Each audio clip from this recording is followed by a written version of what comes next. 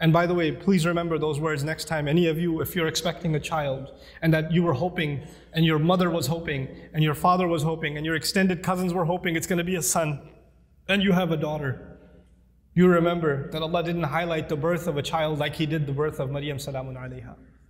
It's an honor to have a daughter. It's a gift of Allah to have a daughter.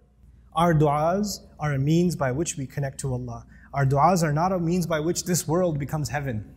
This world is going to be full of trials. People that were much better than we are had difficulty in life. Today's khutbah is dedicated to a very unique individual mentioned repeatedly in the Quran. It's Maryam salamun alayha.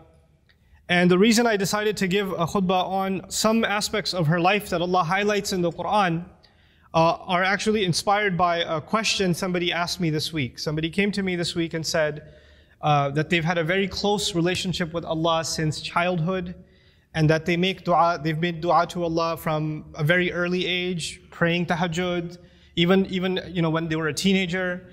And they, whenever they asked Allah for something, Allah provided. This person actually had a pretty tough life. Uh, you know, father passed away at an early age, no brothers, and this, this woman has lived a pretty lonely life and basically decided to really truly depend on Allah. And so, as she grew and developed in her, her, her years, she found that Allah miraculously answers her prayers. Every time she asks Allah for something, Allah has never left her prayer unanswered. So she developed this reliance and this closeness with Allah and would always turn back to Allah. Anything, I mean, she, needs something, she goes and prays two rak'ahs and she makes dua to Allah. So a really beautiful connection she had with Allah. But where did the question come from? The question came from a fact that more recently she went through quite a series of very unexpected difficulties in life. And she decided that she's going to increase her ibadah to Allah and increase her du'as because her problems have also increased. So you figure the more your problems increase, the more you're going to ask Allah to help you solve your problem. And so she does that and she prays like she's never prayed before, fasts like she's never fasted before, begs Allah, cries to Allah, sheds tears before Allah like she's never done before. But the problems keep getting worse. They don't, they don't get any better. And she starts thinking to herself, maybe Allah is not happy with me because before I used to pray and everything used to get answered. I've never had this problem before. Every time I had a need, I turned back to Allah and Allah solved my problem. But now I'm making dua after dua after dua, and I continue to beg Allah, and my problems are not getting solved, they're only getting worse. What could possibly be the reason? And in her mind, the reason was, I must have done something wrong Allah must no longer be answering my prayers because somehow I've been disqualified. I no longer, I'm, I'm not in Allah's good books anymore. The, the reason I decided to give this khutbah is that this is a very common notion that can creep into somebody's mind. Now I get to Maryam salamun alayha, and I, I, really, when she spoke to me, I remembered her because the thing with Maryam salamun alayha was even when she was young, her birth was strange. It was mentioned in the Quran. Not many people's birth is mentioned in the Quran. And she, you know, the mother was expecting a son, but she had a daughter instead. And Allah says, "Laysa dhakaru kal untha," you know, which has a multiple multiple layers of meaning. But I'll just highlight one of them. This boy, this girl is like, like no other boy. This girl is special. And by the way, please remember those words next time. Any of you, if you're expecting a child and that you were hoping, and your mother was hoping, and your father was hoping, and your extended cousins were hoping it's going to be a son, and you have a daughter, you remember that Allah didn't highlight the birth of a child like He did the birth of Maryam salamun alayha. It's an honor to have a daughter. It's a gift of Allah to have a daughter. And it's actually the behavior of the mushrikun to be upset that you had a daughter. Wa. His face turns dark and he's, in, he's depressed. He's swallowing his upset attitude because he had a, he, has a, he had a girl. Girls are a blessing from Allah Azza wa an honor. And it's a disrespect not only of the gift of Allah, but of the ayat of the Quran when you're upset that you had a daughter. You should, you should be mindful of that. But that's on a side note. This child is born, she's actually given a special place in what was then the central house of Allah and Zakaria alayhi salam used to take care of her, and every time he used to come to visit her to make sure she's doing okay, because she was dedicated living in the house of Allah. كلما دخل عليها زكريا المحراب وجد عندها رزقا. Every time he'd walk in, he'd see fruits, food in front of her. And he'd say, Where did you get these fruits? These fruits don't even grow here. And these fruits aren't even from this season. These fruits grow in the winter, these fruits grow in the summer. You have them in off season. Where did you get them from? She would respond, قالت هو من عند الله. These come especially from Allah. These, these fruits come to me from Allah. Imagine somebody whose du'as are answered in a way that's special delivery from the sky of food for this woman. And so when this sister was telling me her du'as get answered in life, I remembered Maryam salamun alayha and how miraculously Allah would intervene and provide for her even matters like food. Things that we can get up and get ourselves. She didn't even have to get up for that. Very special child, very special woman. And so about this woman, what I wanted to share with you is later on in life what happens to her. When she's a young woman, angels visit her, tell her that she's going to have a child. The first thought in her mind, I'm not married. How, what do you mean I'm going to have a child? Lam yamsasni bashar. No man has ever touched me. What in the world do you mean I'm going to have a child? كَذَلِكِ قَالَ هُوَ رَبُّكِ That is how your master declared it. It's, I'm sorry, we're just here to deliver the news. We're not here to negotiate whether this is going to happen or not. That decision has been made. You're having a baby. Now she's in shock. What am I going to do? She's going to turn back to Allah and hope that this will not happen to her, but it's going to happen. And I'll fast forward a little bit for you, just so you appreciate what happened to this woman. After she had the baby, after she had the baby, and she came back to her town, the entire community that looked up to her as a as a zahida, as a spiritual woman, as a woman of worship and ibadah, someone who even the prophet of their community, Zakaria, had endorsed. She, she grew up under the tutelage of Zakaria salam. All the masjid community is standing there. She's walking back with a baby, and they all start collectively, together, start humiliating her. How could you do this? What have you done? Can you? There, there are women in the in the Jum'ah today. No Muslim woman, no Muslim woman can ever imagine being in a situation where she's holding a baby and somebody's telling her that child is not legitimate. She cannot imagine that kind of humiliation. No Muslim. And none of us can imagine that kind of accusation for our sister, for our mother, for our daughter. We cannot imagine that pain. It's beyond us. For the, for the Muslim, our dignity is greater to us than our life. Our, uh, the sense of dignity Allah give it, has given us is more valuable to us than even our life. And she knows that when she goes back with this baby, that's what they're going to say. It's one thing that they might be saying it behind her back. They're saying it in public in front of her. In front of her. Now I want to take you back to how she dealt with this problem. Because no amount of dua she made is going to change what Allah has decided. Allah has decided that she has to face this. She has to stand in front of this. And what does she do? When the child comes, as, as she's about to deliver the child, she says, Ya laytani mittu qabla hadha. She says, if only, if only I could die before this happens. Hopefully I die giving birth. That she's, it's all on her mind. Because that will be an easy escape from what is coming.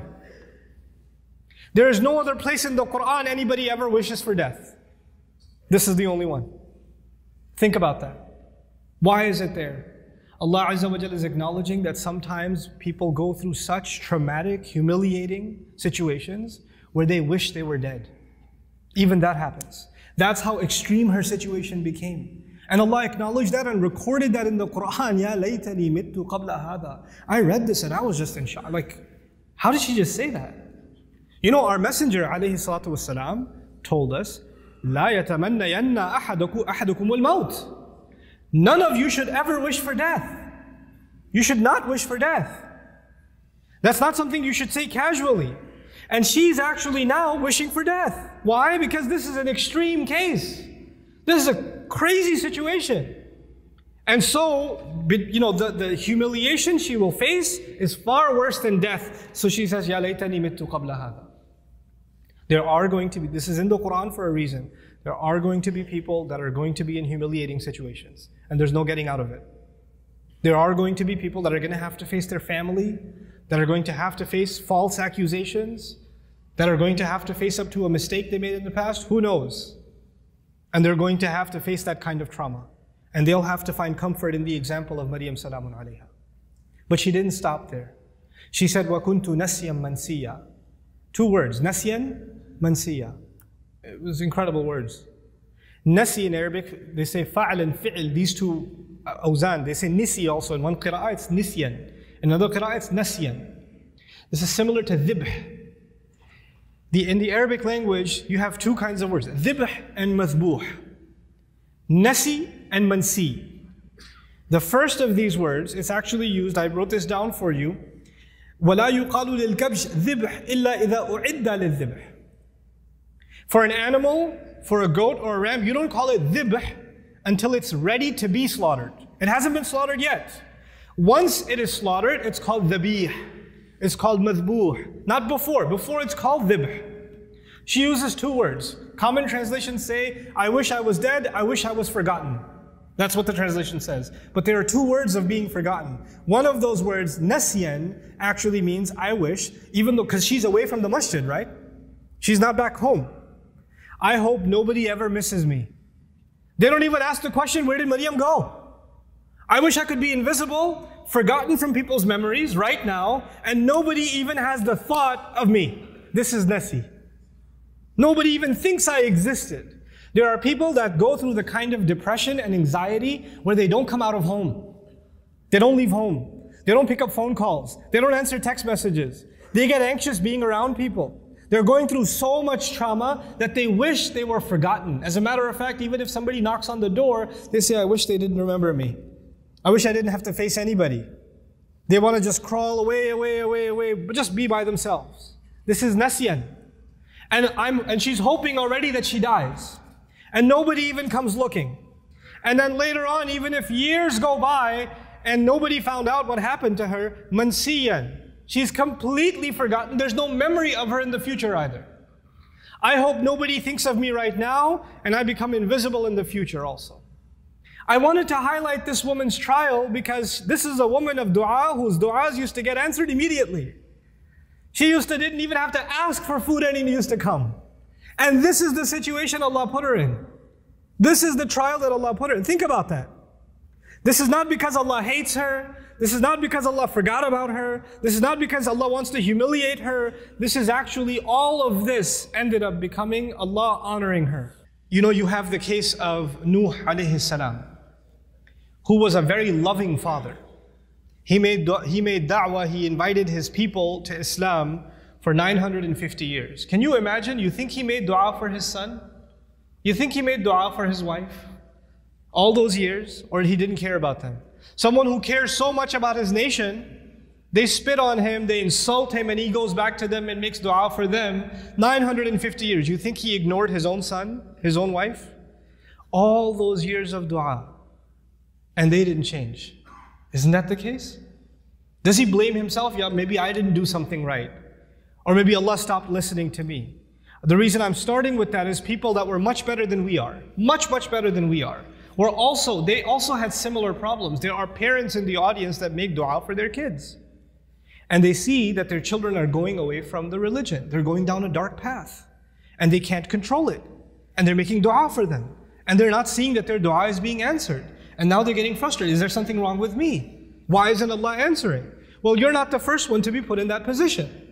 Our Messenger والسلام, made lots of dua. You don't think he made dua for his uncles, his family, you don't think he considered Abu Lahab when he made dua for guidance? And if he did, despite all of that loving dua, Allah Azza wa himself tell him, إِنَّكَ لَا تَهْدِي مَنْ أَحْبَبْتَ You don't get to guide who you love. You know, there are people among us, there are children among us who wish their parents or their elders were acting in a more guided way. I've met so many young people whose parents are in a haram, explicitly haram business. And the children, the son and the daughter is trying to tell the father and the mother, please get out of this. We, we're dependent on you. You're paying my college tuition. You're providing for us, but you're providing for us from haram income. And I'm not in a position to provide for the family right now, but this is wrong. And then they're told you're being disrespectful, you shouldn't talk back to your parents, etc., etc. Now it's the flip side. It's the children making dua for the guidance of their parents. But things aren't changing. Things are where they were. These frustrating situations happen. And then on top of that are situations like health calamity. Not just family problems, but health cal- calamity. Or you can't find a job, you have money problems, and you're making dua to Allah. You, you ask yourself, I, I even did i'tikaf last year. And I kept making dua and I didn't pick, pick my head up from sajda all night long and still I have this problem. Still it didn't go anywhere. So the first thing I want to remind myself and all of you is that prophets, prophets والسلام, all of them, much before us, Allah mentions their du'as consistently in the Quran. And Allah also mentions their problems consistently in the Quran. You don't think, for example, the, that Yaqub alayhi salam, the father of 12 sons, made dua for all of his sons? And especially for his son Yusuf, when he lost his son Yusuf, you don't think he made dua for Yusuf's safety, that Yusuf should come back home, that he could spend, he could look at his beautiful son once again. We know that he cried so much he lost his eyesight. He lost his eyes over crying over his son.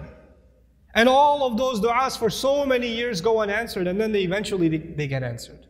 You don't think that you know the, the mother of Musa alayhi salam, when she put her baby in the water, and it, the, the river just takes the basket away, the basket could flip over any time. And how do you know the basket is waterproof? How do you know it's not going to leak? How do you know it's not going to hit a rock and it's done? You know, it's you're throwing something in a river. It's not a joke. It's a baby in a river. You don't think that mother is making dua to Allah? And notice the difference. In that case, in the case of Musa's mother, she makes dua to Allah, and a few hours later, she's reunited with her son. Just a few hours later.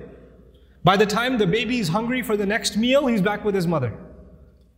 And in the other case, with the case of Yusuf salam, he was separated from his father. But he wasn't reunited with his father for many years. For many, many years. We are going to go through difficulty in life. And our, all of our problems are not going to be solved because we made a dua to Allah. Understand the reality of dua. What is the purpose of dua? We, uh, we, often consume, we often confuse dua with talab. Talab in Arabic means to ask for something, to demand something. Dua means literally to call. That's what it means. Da'autukum, I called you, I invited you, I cried out to you. This is dua. When we make dua to Allah, sometimes in that dua we are making demands. It's true. We're making requests. But we should never forget that all of those requests, you know what they are at the end of the day? It's a humble slave of Allah turning back to Allah and begging Allah to help him with whatever problem. But it's more than Allah sol- solving your problem, it's just the act that you communicated with Allah that's the most valuable thing. Our du'as are a means by which we connect to Allah. Our du'as are not a means by which this world becomes heaven. This world is going to be full of trials. People that were much better than we are had difficulty in life. That's okay. لَقَدْ خَلَقْنَا الْإِنسَانَ فِي كَبَدٍ We created all human beings in toil and labor and struggle. Struggle is a part of life. The purpose of dua is to help you and me deal with those struggles and to never forget that Allah is with us, whether it's hard times or easy times. May Allah Azza wa not make us people that lose faith. May Allah Azza wa honor us and, and make, uh, help us remember that no matter how much people try to humiliate you, people try to put you down, people insult you like they did Maryam salamun alayha, Allah still honors you. There's a big difference between what people say about you and what Allah thinks about you. Because if you go by what people said, then Maryam was the most humiliated, insulted person in society. And if you go by what Allah says, she's one of the most honored women in all of human history. So we go by what Allah says. Allah is the one who honored us. وَلَقَدْ كَرَّمْنَا بَنِي Adam. We honored the children of Adam. May Allah Azza wa make us dignified before Allah Azza wa before He makes us dignified before people. بارك الله لي ولكم في القرآن الحكيم ونفعني وإياكم بالآيات والذكر الحكيم. I hope you guys enjoyed that video clip. My team and I have been working tirelessly to try to create as many resources for Muslims to give them first steps in understanding the Quran all the way to the point where they can have a deep profound understanding of the Quran. We are students of the Quran ourselves, and we want you to be students of the Quran alongside us. Join us for this journey on BayyinahTV.com, where thousands of hours of work have already been put in. And don't be intimidated, it's step by step by step, so you can make learning the Quran a part of your lifestyle. There's lots of stuff available on YouTube, but it's all over the place. If you want an organized approach to studying the Quran beginning to end for yourself, your kids, your family, and even among peers, that would be the way to go. Sign up for BayyinahTV.com.